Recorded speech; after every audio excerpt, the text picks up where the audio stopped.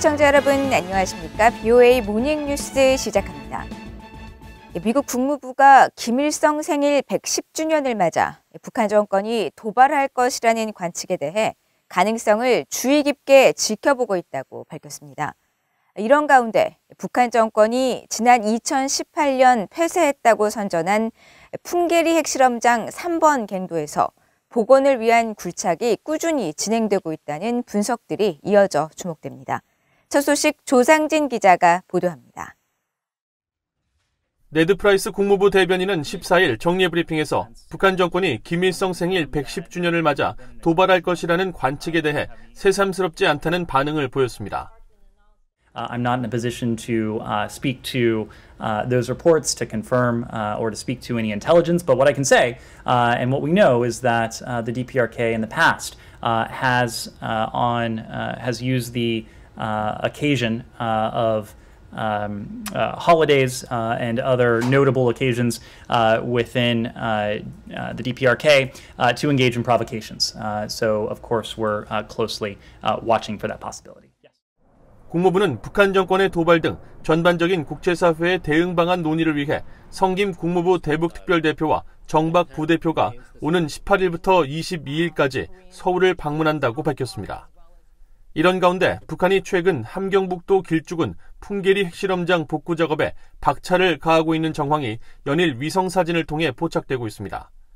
후루카와 가쓰히사 전 유엔 안보리 대북 제재위 전문가 패널 위원은 14일 오스트리아 빈에 본부를 둔 민간 연구단체 오픈 뉴클리어 네트워크를 통해 발표한 풍계리 핵실험장 분석 보고서에서 지난달 28일과 지난 6일 보고서 발표 당시와 비교해 남쪽 3번 갱도에서 계속된 추가 움직임이 포착됐다고 밝혔습니다.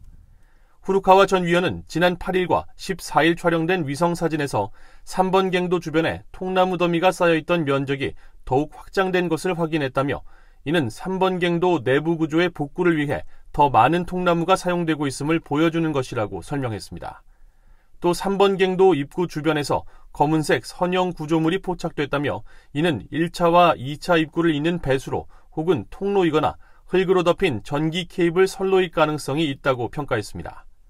아울러 3번 갱도 2차 입구 근처에서 상자 또는 지지대로 보이는 구조물도 새롭게 설치됐으며 기존에 철거됐던 구조물 재건과 개조 징후, 갱도 근처 개활지에 교통 표지판과 차량 이동 흔적도 포착되는 등 갱도 굴착과 관련된 움직임들이 지속해서 확인되고 있다고 밝혔습니다. 후루카와 전 위원은 최근 위성사진 분석을 종합하면 북한은 3번 갱도 복구를 위한 작업을 지속적으로 추진하고 있으며 3번 갱도에 핵실험 관련 장비 설치 준비를 시작했을 가능성을 시사한다고 평가했습니다. 그러면서 지난 2018년 5월 핵실험장 폭파로 인한 3번 갱도 내부 구조의 손상 정도와 북한 정권이 계획하고 있는 3번 갱도에서의 핵실험 횟수가 핵실험 가능 시기를 결정하는 핵심 변수가 될 것으로 전망했습니다. BOA 뉴스 조상진입니다.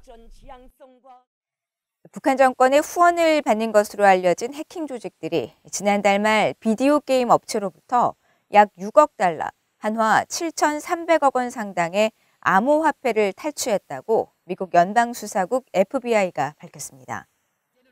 FBI는 14일 발표한 성명에서 수사를 통해 북한과 연관된 라자루스와 APT-38이 지난달 29일 보고된 6억 2천만 달러의 이더리움 도난에 책임이 있다는 사실을 확인했다고 밝혔습니다. 해킹 피해를 입은 업체는 블록체인 기술 기반 게임인 엑시 인피니티로 북한 해킹 조직이 게임을 통해 암호화폐를 주고받을 수 있는 네트워크 론인에 지난달 말 침투해 암호화폐를 탈취한 것으로 알려졌습니다. 이와 관련해 미국 재무부 해외 자산 통제실도 이날 라자루스와 연결된 암호화폐 이더리움의 지갑 주소를 새롭게 제재 목록에 추가하고 해당 리더리움 계좌를 동결했으며 해당 계좌에 대한 미국인의 거래도 금지 조치했습니다. 앞서 해외 자산 통제실은 라자루스가 북한 정찰총국의 하위 조직으로 사이버 활동을 하면서 다른 나라 정부와 군, 금융, 또 언론기관 등을 겨냥했다며 지난 2019년 제재 조치를 취한 바 있습니다. 한국 윤석열 대통령 당선인이 북한을 주적으로 규정하고 현 문재인 정부가 과도하게 남북 관계에 집중했다며 자신은 미국과의 관계를 바탕으로 국제 외교를 확대할 것이라고 밝혔습니다. 윤 당선인은 4일 미국 워싱턴 포스트와의 인터뷰에서 차기 정부의 외교 안보 원칙을 제시하며 이렇게 말하고 북한 정권이 장거리 미사일 시험 유예를 파기하고 극초음속 미사일을 시험했는데 이는 핵무기 운반 능력이 심각한 수준에 도달했다는 뜻이라고 지적했습니다. 또 한국에 대한 핵 위협도 고조됐다면서 핵 문제와 관련해 북한이 국제 규범을 준수하고 돌이킬 수 없는 비핵화 조치를 취하며 핵 사찰을 받아들인다면 북한에 대한 경제 개발 지원을 시작할 것이라고 밝혔습니다.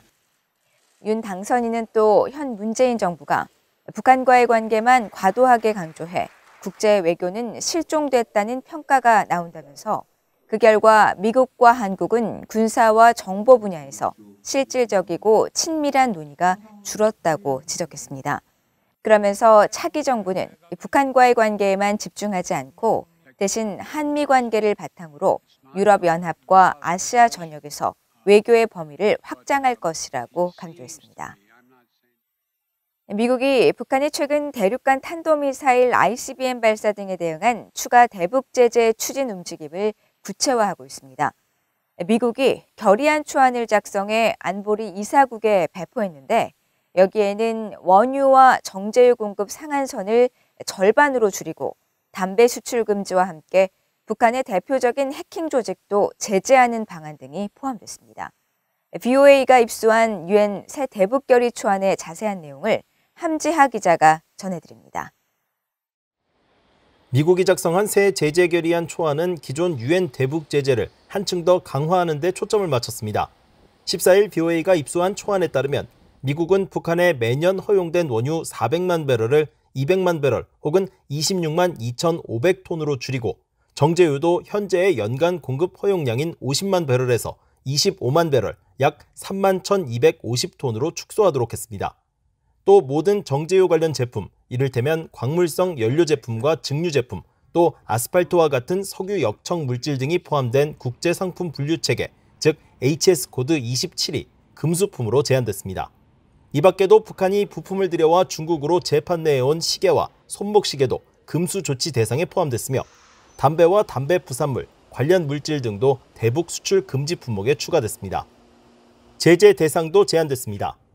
군수공업부의 베트남 대리인 김수일과 북한의 해외 노동자 파견에 관여한 조선 남강무역회사, 북한의 사이버 해킹 조직인 라자르스 그룹, 북한 인민무력부 소속의 해금강 무역, 그리고 선박 다섯 척이 제재 대상으로 이름을 올렸습니다.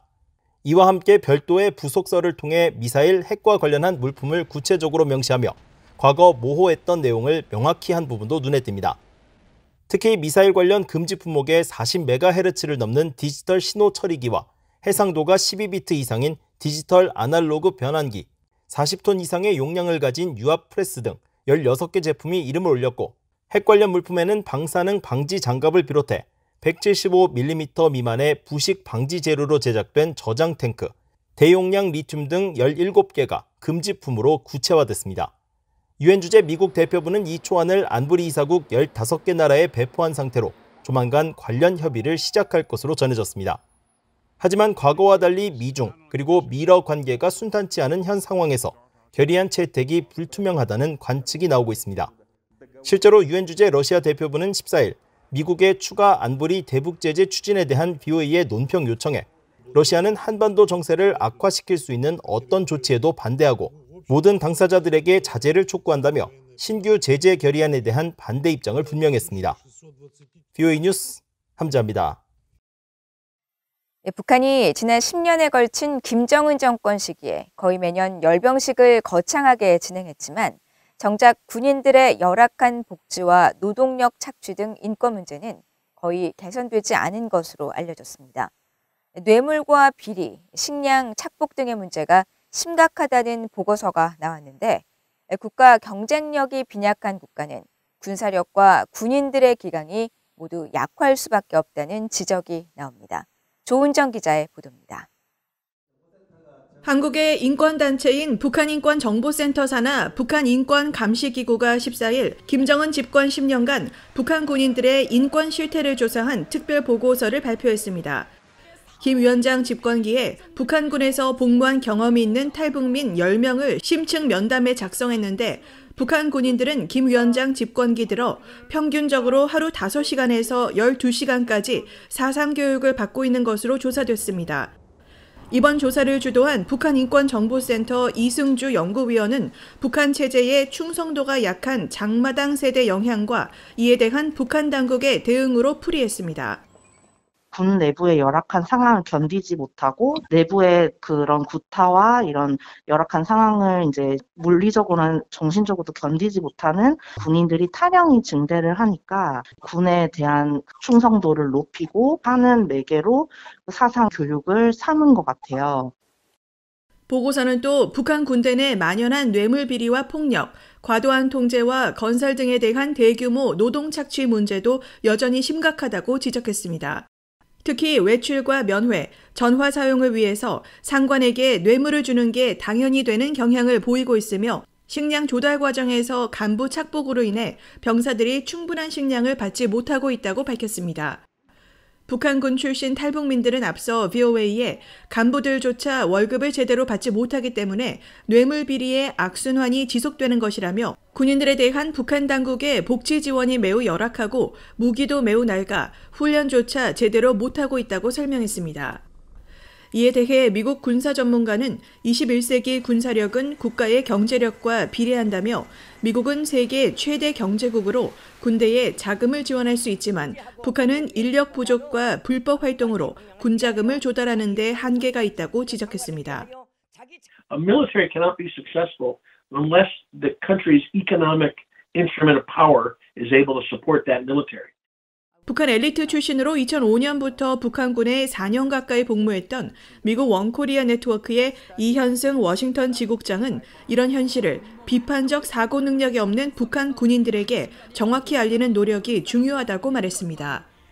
미국 군인들이 아, 누리고 있는 복지, 훈련 과정, 그리고 미군 군사 장비, 그리고 어, 미군들이 일상생활을 북한 군인들한테 정보를 주게 되면은 북한 군인들이 아마 깜짝 놀랄 것이고 북한 군인들이 이런 어, 환경에서 자기들이 군사복무 한다는 것에 대해서 많은 회의감과 많은 질문을 어, 북한 정권에 던질 것이다. 북한인권정보센터는 북한 당국이 인민, 군, 이중 착취 구조를 근절하고 노동력에 대해 충분한 대가를 제공해야 하며 군 복무 기간 축소, 여성 군인에 대한 성폭력 등 여러 악습과 폐단을 제거해야 한다고 촉구했습니다. BOA 뉴스 조은정입니다. 올해 1월부터 3월까지 1분기에 한국에 입국한 탈북민은 여성 9명과 남성 2명 등 모두 11명이라고 한국통일부가 밝혔습니다. 과거 연간 1000명 이상을 꾸준히 유지하던 한국 입국 탈북민은 신종 코로나 바이러스 감염증 여파와 북한 당국의 국경 봉쇄 등으로 대폭 감소해 2020년에 229명, 지난해 63명을 기록했었습니다. 올해 1분기 입국 규모는 지난해 같은 기간에 입국한 31명보다 60% 이상 더 감소한 것으로 또 대부분 코로나 이전에 탈북한 사람들인 것으로 추정됩니다. 김성은 한국 갈렙 선교회 대표 등 탈북 지원 단체들은 BOA에 북한뿐 아니라 권위주의 통치와 공산당 일당 독재 체제를 더욱 강화하는 시진핑 정부가 국내 이동 통제는 물론 남부 국경 지역의 장벽을 계속 건설하는 등 상황이 계속 악화돼 탈북민 구출과 이동이 매우 어려운 상황이라고 말했습니다. 이상으로 BOA 모닝 뉴스를 모두 마칩니다. 시청해주신 여러분 고맙습니다.